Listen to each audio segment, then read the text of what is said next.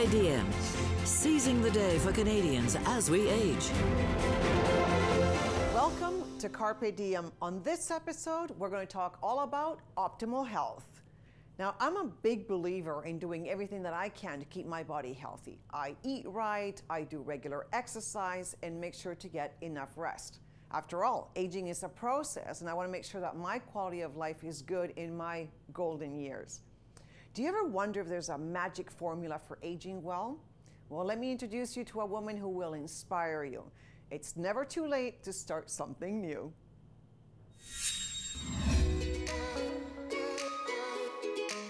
Well, here's a couple of medals here, finishers.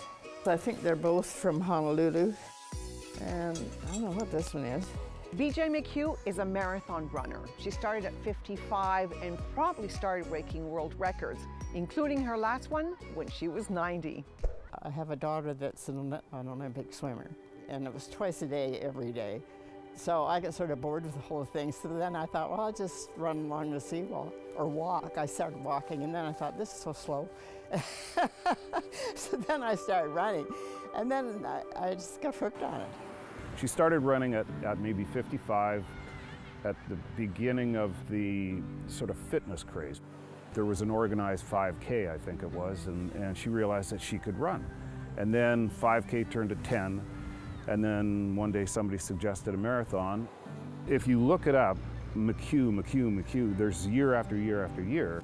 The age group categories, she holds them all. And, uh, and these, are, these are world categories. This is a record I won in Honolulu. I set a world record for my age group. Oh, look at these little guys. Hi. I used to meet a lot of people on the trail, and some of the women said, you know, we, we're not runners, but you get, we think of you and we get out in the morning, get up here and do this.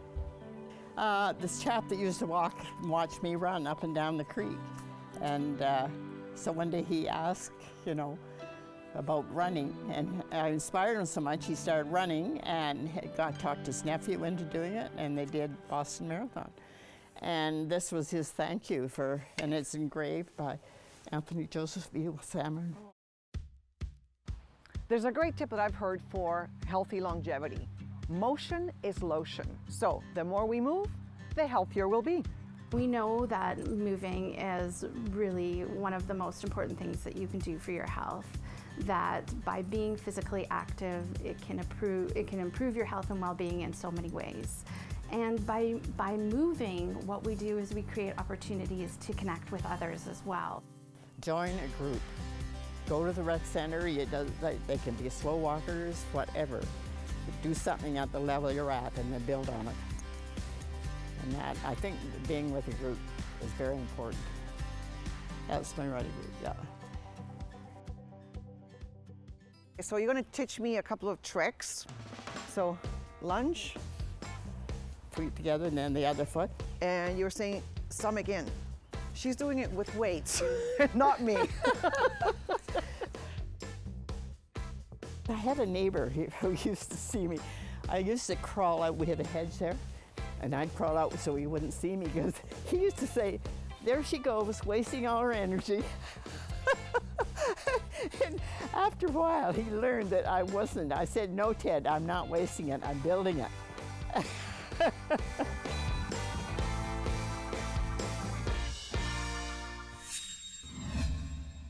BJ is an amazing example of what we can do if we desire enough.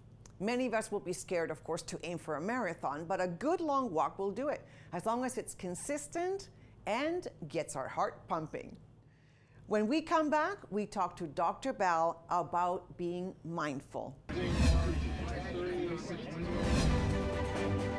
Meditation is a fantastic way to get in touch with self.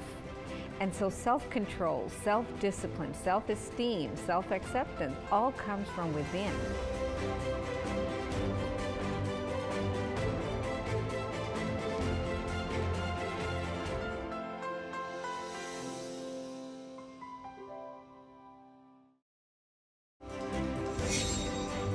Carpe Diem, seizing the day for Canadians as we age. Welcome back. We're on the gorgeous patio of Living Space in downtown Vancouver, and we're chatting with Dr. Bal, who, of course, is the author of The Mind Body Cure. And we're talking optimal health. Let me ask you to start is what is the most important thing or something to do to establish optimal health? That's a great question. It, optimal health is broad, but I can tell you the most important factor if you want good health is to get in touch with the mind. The mindset determines how your health outcome is going to be. So once you have a solid mindset that is resilient, calm, and grounded, you're going to make great choices for everything else. And what's your trick to get there? The biggest trick I would say is to have the awareness and go within. Learn to be your best friend and go quiet. And when you do introspection through meditation, meditation is a fantastic way to get in touch with self. And so self control, self discipline, self esteem, self acceptance all comes from within. And so when you establish those principles, then you can write your program for health much more easier than just trying to do it without, without engaging the mind. And often people say, well, you know, your brain can be conditioned to that, but the brain and the mind are very different. And what I wrote in here is the mind is the programmer. The mind is the main guy. I mean, a brain, you can x-ray it, right? The brain just remembers things, is like a computer. But the mind, where does the mind live? The mind is your consciousness, the awareness. Awareness is the agent of change. So if you want optimal health, you have to be aware of your inner dialogue and what choices you make. And do you think that in the last year of this pandemic that people are being more mindful? Um, I think you're right. People have become more aware of their mental situations. They are choosing things more carefully. So yes, there's a high, heightened level of consciousness. And when they're choosing foods, they're actually looking at food very carefully because the quarantine 15 made them gain weight. And they said, okay, that's a lot of emotional eating. And so they're being more mindful about what they choose to eat. And it takes, what, about two weeks to break a habit? That's right. It's, it's about two to three weeks. Say if you did something 21 days in a row and you embed good habits, they become your automatic default system rather than the negative things. So you went through a big transition, as is in the book and you're a very healthy specimen today, as is your family. What happens at home for you as a family for optimal health? Like, can you give us some tips?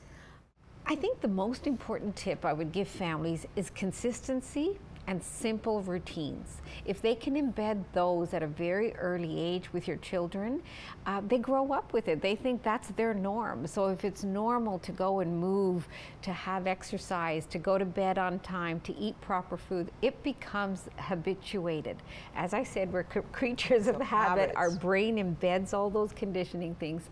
So the parents have to be conscious parents to embed these good habits. So consistency, routine, you know, eating eating foods that is local, uh, natural, low preservative, and easy to digest, and making meal times very mindful events, not watching the TV or having your phones on, just really engaging with, with each other and taking our time to eat rather than eating mindlessly. I think that would be a really good habit for families. Mm-hmm. What about if you grew up in a, for those of us out there that didn't have that growing up but need to really shift into what you're saying. They want to change, they want to pivot, they want to be better. That's a great question. That brings you to neuroplasticity. We are not written in stone. We are fluid beings, and our body and our brain can change. So once you make up your mind to change, then you instill new habits for 21 days, do it consistently, and then when it becomes your routine and your consistent habit, it becomes your default. So you can change at any time once you make up your mind to change. Oh, you are good. it's never too it's late. Never too late. I like that. When we come back, we visit with celebrity chef Robert Clark to find out how seafood can be prepared in easy recipes that are good for our bodies. And yeah, so just some uh, green bean salad with uh, some roasted red pepper, BC Hot House roasted red pepper chop chop. Very simple, again, clean, a little bit of sesame seed oil. That's it.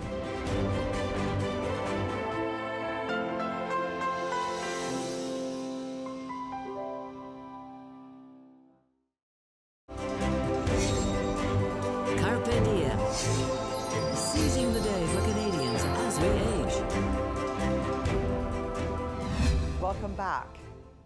We know that what we eat has a huge impact on our overall health and also that the food choices affect our planet. When we go out for dinner, some of us will recognize the Vancouver Aquarium's Ocean Wise logo, which certifies that the fish we're eating is not an endangered species. But did you know that Chef Robert Clark was one of the co founders of that program? He spent his entire career promoting sustainable seafood and in 2020 was awarded the Order of Canada for that work. I met him at the barbecue. Welcome to Steveston. We're on the dock. As you can see, we got a barbecue and we've got Chef Robert Clark. And it doesn't surprise me in the least that we have seafood out here. Not just seafood, but local, sustainable, ocean-wise BC only- seafood. So the first thing I'm going to do is I'm just to do a little halibut dish. Mm. I'm just playing a little bit of leeks on the bottom just to give it a base and keep the fish up off of off the alum- off the paper. But uh, a little bit of salt. Halibut, some people are intimidated uh, uh, cooking it because it, it often dries out, like if you overcook it. So it's very, uh, it's a very delicate fish. We got you see how how it how shiny, how firm it is.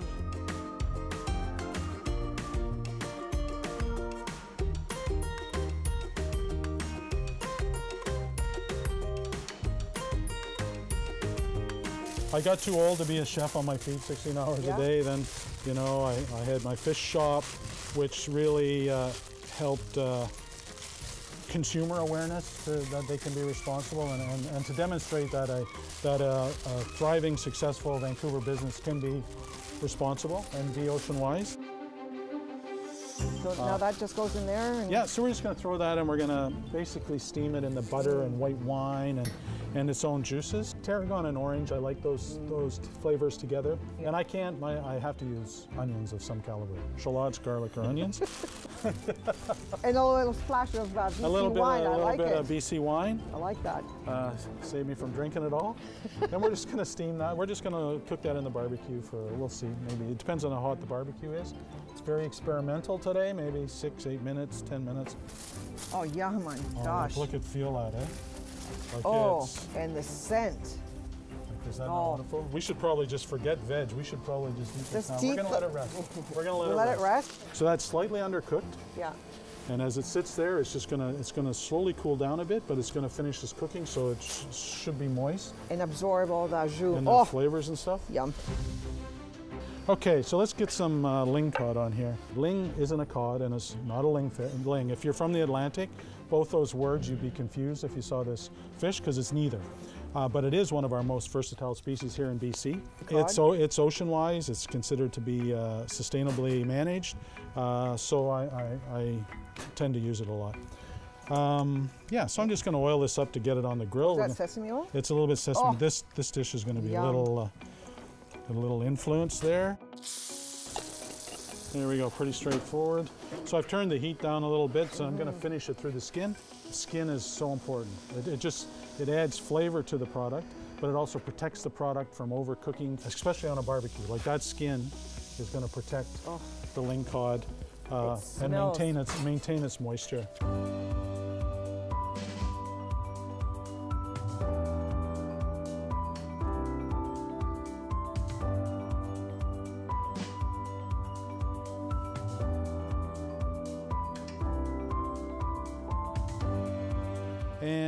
Just some uh, green bean salad with uh, some roasted red pepper, BC Hot House roasted red pepper chop chop. Very simple, again, clean, a little bit of sesame seed oil. That's it.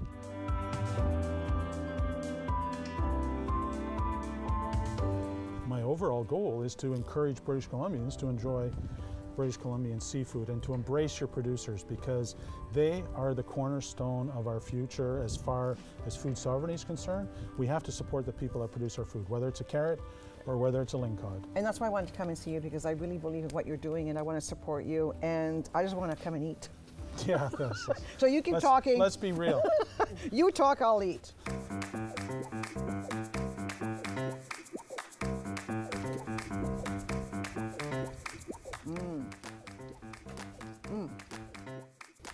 Um, love them. Sorry I didn't bring more than two forks. I love, no. we can all do our part to protect our oceans and our food supply. Buy mindfully. It's good to know where your food comes from. And full disclosure, I now order all my seafood online from Organic Ocean. Find a local trusted purveyor and support them. We'll be right back and we'll talk to Bill Van Gorder from CARP about Zoomer Wellness.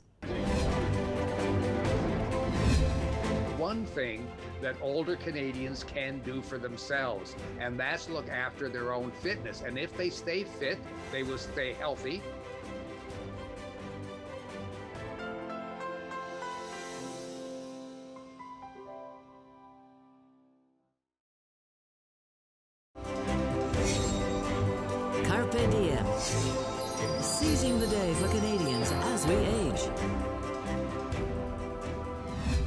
Back. We've got Bill Van Gorder with us from CARP, and we're going to be talking Zoomer Wellness. Bill, you're a big advocate for physical fitness, and I still have the Nordic poles that you gave us at the CARP AGM a few years ago. So, welcome to Carpe Diem. Thank you, Carmen. It's good to be here, and uh, yes, it's great to help about uh, talk about older Canadians' fitness. And now, CARP has a campaign that I just love. So I want to give you the honor of saying the title. Can you just tell us what it's called? It's called Stand Up Straight and Move Your Buns. And that's certainly what we're encouraging our CARP members and other older adults uh, to do. Yeah. And you know, I mean, we know that there's been a lot of studies on this and that you know and many many scientists will tell you that that is the magic pill for longevity is fitness if our doctors told us we could just take one pill and that would solve many of our problems and our health issues and prevent others, would we take that pill? Well, we would, and it is available, and it's called active participation in a regular fitness program. And so, tell us a little bit about the campaign you know, CARP has always been in the advocacy business, asking governments uh, and other organizations to do things to help seniors. But we realize there's, there's one thing that older Canadians can do for themselves, and that's look after their own fitness. And if they stay fit, they will stay healthy. And if they stay healthy, they'll avoid many of the diseases and other issues that we run into as we get older. So we decided that one of the major focuses we would have for this year would be to urge our members to get out, get fit, and as you said, stand up straight, move your buns, and preserve your mind and your body. How are you encouraging us all to participate in this? Well, we're reminding our CARP members and their friends that uh, there are many ways to be involved in a fitness program, uh, but the easiest way, and the one that 70% of Canadians say is their favorite form of fitness, is just to get out and walk. That walking is a form of fitness that everybody, almost everybody, uh, can do. Some people will need aids to do it, others can do it on their own. Uh, but if you get, uh, you know, two and a half hours, 150 minutes uh, uh, a week of, uh, of fitness activity, you're going to add years to your life. And that's not just a, a promise or an idea. There's actual research that shows that's what happens. It not only improves our body, but improves our, our mind and especially if you do it near the water or in a park where there's green. I mean, there's so many other benefits that come with it. Well, there are, and people don't always understand the uh, uh, the, the, reason for this. You know, most of the of the good stuff that happens in our body happens in the large muscles. That's where we produce the oxygen that fuels the body. That's what builds the strength so that we uh, don't risk falling, which is a, a concern of, of many uh, old, older, older adults. It's where we build our bone structure and prevents osteoporosis, for which for many of us, especially women, osteoporosis is a real concern. All of those things can be helped immeasurably uh, by regular activity, the regular activity of walking. And also being physically fit helps your mental health. Absolutely. We know that it not only uh, can delay the onset of uh, uh, dementia, but just makes you uh, feel better because those muscles, once again, they produce what we call endorphins, and the endorphins are what make us feel happier and and uh, more alive. And you know, sometimes you hear hear runners who run, and I'm not suggesting we all become runners, but they talk about the runner's high. Well, you get a high like that when you're out for a walk, just breathing the fresh air, looking at the uh, the ocean or the beautiful country around you, or just enjoying your own neighborhood and looking to see whether the neighbors have cut their lawn or not. It's all part of a fitness program. This is a great campaign that I think hopefully everyone will participate in because not moving is not an option if you want to stay healthy. And after all, quality of life is what we all desire. And that means we must do our part, our very best, to assure we have a long and healthy life. And of course, if you want more detailed information on member benefits and advocacy, go to carp.ca. And that's the show. If you want to see a conversation happen here, get in touch. And remember, as our CARP president, Moses Znaimer, always says, the best way to keep going is to keep going. So carpe diem and seize your day.